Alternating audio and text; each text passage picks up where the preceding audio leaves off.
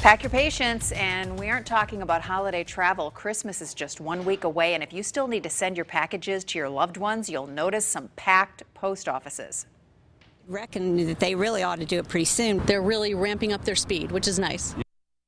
Now, some post offices are even extending their hours. Wink News anchor John Carlos Estrada is live at the post office near Page Field in Fort Myers. And John Carlos, what's the last day that the U.S. Postal Service can guarantee that gift under the tree?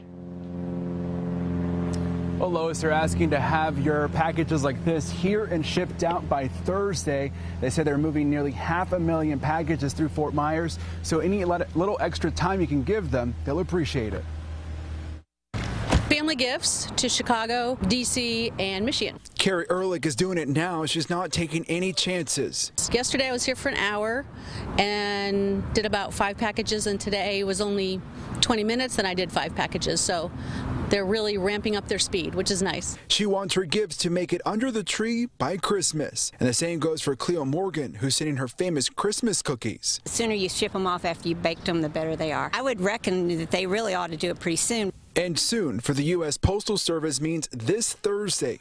They're expecting to handle at least half a million packages in Fort Myers, an increase from last year. Uh, but we ask that you give it an extra day or two so we make sure it's under that tree. A lot of mail going out and a lot coming back in. And we're here at the U.S. Postal Service, and just to give you an idea of where things stand now when it comes to prices, we're going to ship this box to my family in Texas to the three mailing services to see who is the cheapest and the quickest to get there by Christmas. For a small package to Texas, here's the breakdown. The U.S. Postal Service for 11 bucks and change will get that package there by Christmas.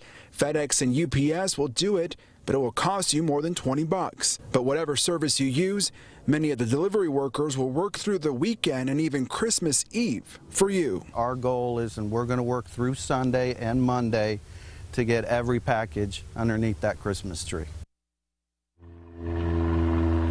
And let's break down those Christmas deadlines again through the U.S. Postal Service to go express priority mail. You need to have it here by Thursday. Now, FedEx and UPS, they actually give you an extra day. You have to get it there by Friday. And if you have any last minute gifts that you need to get out, the U.S. Postal Service has you covered through their express mail. You need to have it here by Saturday, but there is no guarantee that it will definitely get there by Christmas Day.